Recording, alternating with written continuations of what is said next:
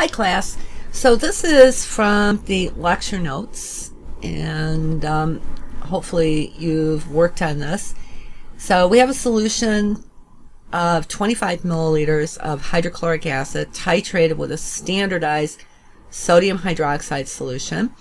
It takes 36.52 milliliters of 0.09867 molar sodium hydroxide solution to reach the endpoint what is the concentration of the hydrochloric acid solution. So they want the concentration. So I'm just going to go ahead and write this out. So molarity is moles of solute over liters of solution. So they want the molarity of the hydrochloric acid solution. So the first thing I'm going to do is write my balanced equation. And we have hydrochloric acid with sodium hydroxide. And I'll go ahead and so we have sodium chloride salt plus water. So the equation is balanced. So I have a one-to-one acid to base ratio.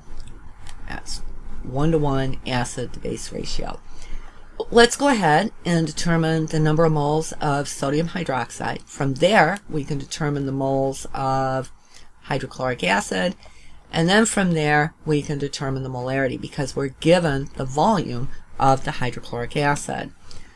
So we'll take the 0.09867 molar sodium hydroxide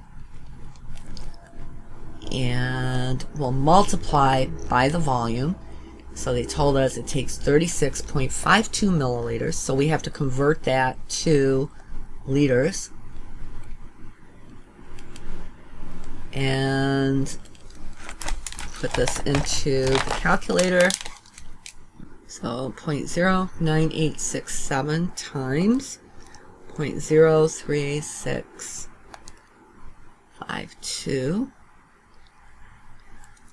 and I get point zero zero three six zero four moles of sodium hydroxide. So we'll take that, the point zero zero three six zero four moles of sodium hydroxide, and we know from our balanced equation that one mole of sodium hydroxide will react with one mole of hydrochloric acid. So that means that we have 0.0036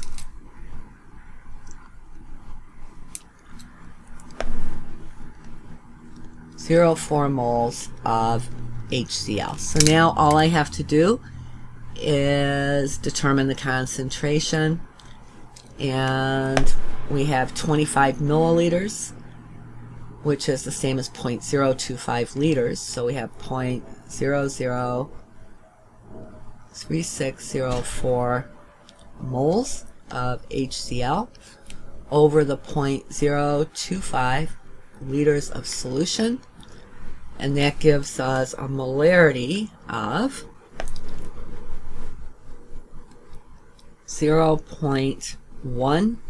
0.1441 molar. So the hydrochloric acid has a molarity of 0.1441 molar.